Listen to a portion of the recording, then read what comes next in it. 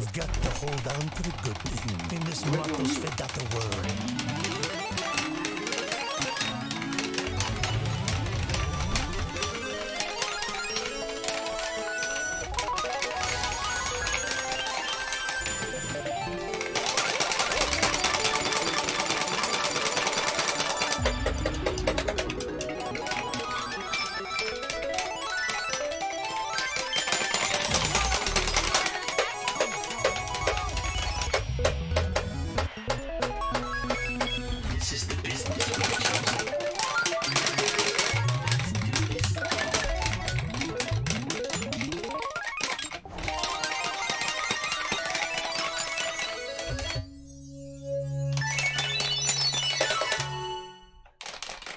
There we go. Finally.